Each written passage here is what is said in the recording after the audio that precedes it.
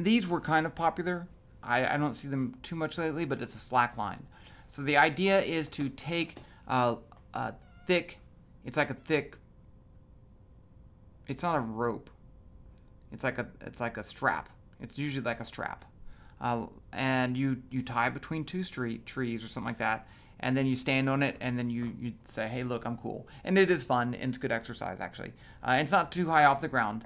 Uh, but, but you can see that there will be some bend in the line. And the question is, if if a human stands on there with a mass of 81 kilograms, so there's my human, that's a human, and the the slack line makes a five degree angle with respect to the horizontal, what's the tension in the slack line? Uh, so let's calculate that.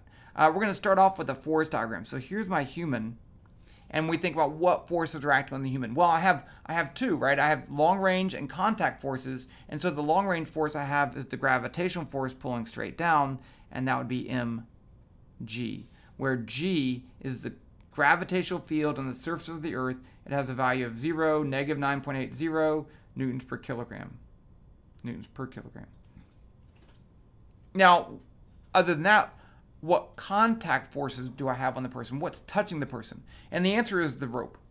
Okay, but the but the rope actually pulls in in two ways, right? We have we can think of this as two ropes, one rope pulling that way and one rope pulling that way. So let's write that as two different ropes lines, ropes, I don't know.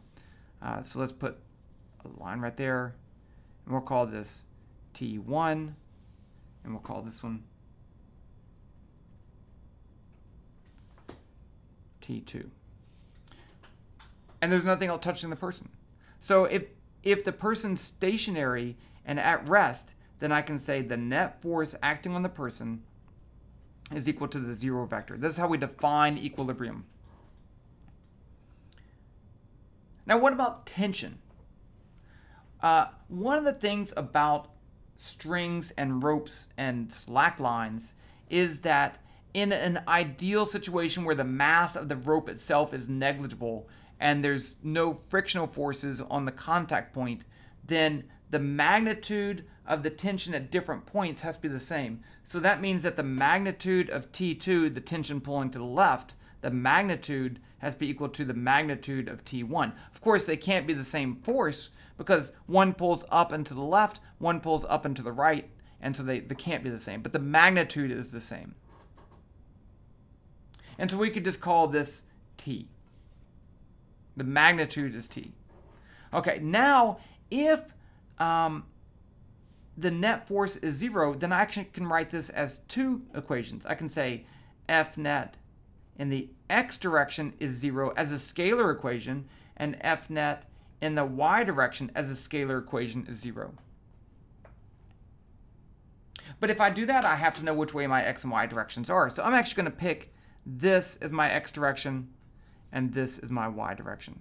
So now uh, I can do these equations. Let's go ahead and do the f net x. So uh, what forces, I have three forces, which of these forces act in the x direction? Well, T1 and T2 both have a component in the x direction.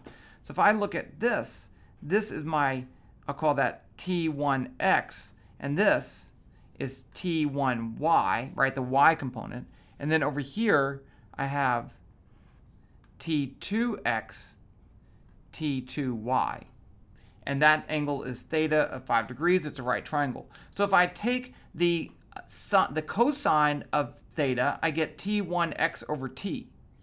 So the x component of this, if I say f net, I can say f net x is going to be equal to the x component of t1, which is going to be t cosine theta. Because cosine theta is uh, t1x over t.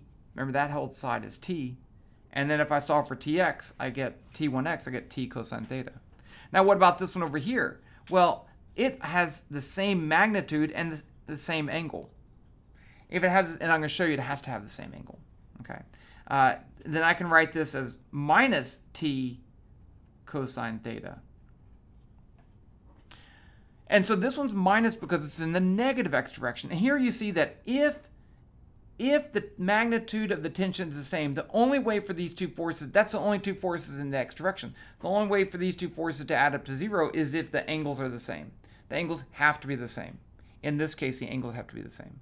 The only way for those to add up to zero. And so, but then I get t cosine theta equals t cosine theta, and I can't solve that for t because this is 1 equals 1, and, and that is true, right? Just not useful. Okay, let's look at the y equation then. So F net y.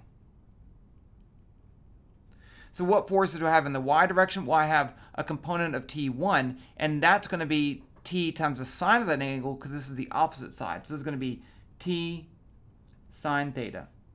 Over here, this one has a y component too. It's also going to be t sine theta plus t sine theta. So you notice that over here, one of them was minus and one was plus uh, because they're pulling in opposite directions, but they're both pulling up. So they both have a positive y component. And then I have the downward uh, gravitation force is in the y direction, mg equals 0. And so I put minus mg because here we're saying g is the magnitude of that gravitational field of 9.8 newtons per kilogram. So now, can I solve this for t? Yeah, I can. Because here I have t sine theta plus t sine theta. That's 2t sine theta. And then minus mg. Now I can add mg to both sides, and I get 2t sine theta equals mg. And then I can divide both sides by 2 sine theta, and I get t equals mg over 2 sine theta. Okay, so let's put in a value there. T equals 81 kilograms, 9.8 newtons per kilogram, 2 sine of 5 degrees. So I'm going to use my handy dandy calculator. Uh, so I'm going to just enter this in. 81 times 9.8 divided by parentheses 2, right? Because I want to divide by 2 and this times sine. And you'll notice my calculator is in degrees mode.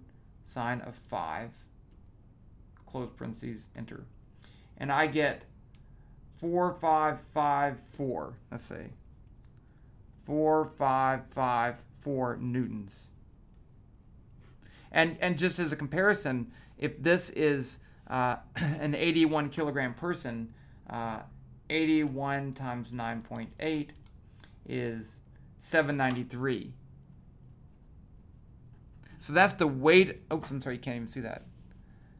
81 kilogram person has a weight, a gravitational force of 793. So down here, this is much higher, right? The tension in the line is not the tension in the weight of the person. It's much higher than that.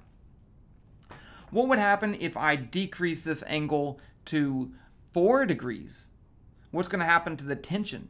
Let's because what if I, I'm like that's not slack line five degrees is too high of an angle. I want it tight. I want it uh, lower angle. Let's just decrease that to four degrees. I can do that up here by just recalculating. I'm going to put in four instead of uh, five. So I'm going to say 81 times 9.8 divided by parentheses 2 times sine 4 close parentheses close parentheses enter and I get 5689 so I increased by over a thousand newtons just by decreasing that, that degree to by, by one degree. Okay. Uh, you know, is it possible? Is it possible to have a completely straight line? And the answer is no. If it's completely straight, then there's going to be no vertical component of the tension. And so then it won't balance out this gravitational force. There's no way for the force to add up to zero if there's not a y component of the tensions. Can it be really, really small? Yes, it can be really, really small, but it can't be it can't be zero. If it gets really, really small, the, the magnitude of the tension goes ginormous. That's a physics term, ginormous. Okay, and you can play around with that. You can say, what if I change it to three degrees, two degrees, one degree? Uh, let's just do one degree just for fun. Clear. So I get 81 times 9.8 divided by parentheses 2 times sine of 1. I get uh, 22,000 newtons. Is that right? Like it's hard to see the glare. One, two, three. Yeah, 22,000 newtons. So so big, large tensions. Probably gonna break this the strap or pull that tree over. That'd be bad. Okay, have fun slacklining.